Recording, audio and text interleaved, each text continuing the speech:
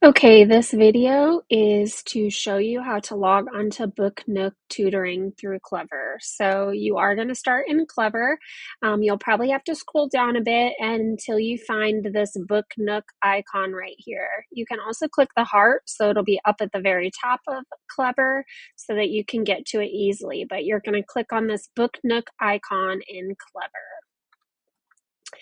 Once you click on it, you'll come to a screen like this that'll say hi and then your student's name, um, and then you can click go to game down here. Then it'll bring you to a game page. Once you get to this game page, what I would recommend doing is going ahead and splitting your screen. I have created a video on how to split your screen, so I'm going to play that for you right now. Um, it gives you how to split in both iPad and on Chromebook. This video is going to show you how to split your screen for your tutoring.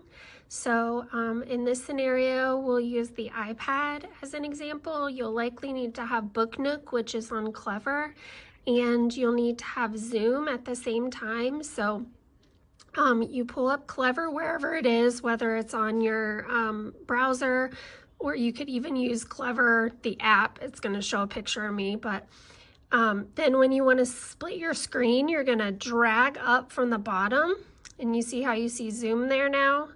I'm going to pull down on Zoom, drag it up, and now I have Zoom and Clever at the same time. So to show you that again, You'll pull up whatever you have. So whether it's Clever on here or Clever somewhere else, you'll pull up from the bottom until you see your dock down here. This is called your dock.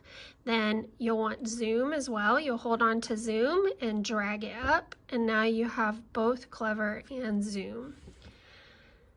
Now I'm going to show you how to split your screen in a Chromebook. You'll see here that I have Zoom and then I have a Chrome tab open and I want to split this screen. So what I'm going to do is I'm going to find this button on my Chromebook right here, right where my finger's pointing.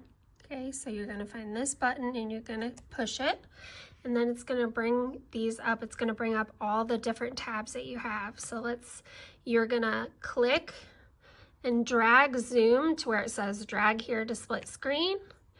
And then you're gonna click and drag here to split screen. You're gonna drag that to that side. And now you have a split screen on Chrome. So you're gonna use this button right here to do it.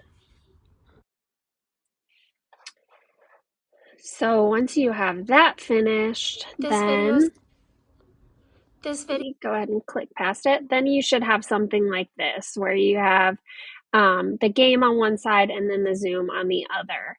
Um, if you have any questions during the day, you can email me, Lyndsi Hampton, this top email up here. And if you have any questions in the evening, Miss McCargish will be taking point um, during those tutoring hours. Um, so her email is right here too. If you have any questions, just please let us know and we will be more than happy to find us a solution for you.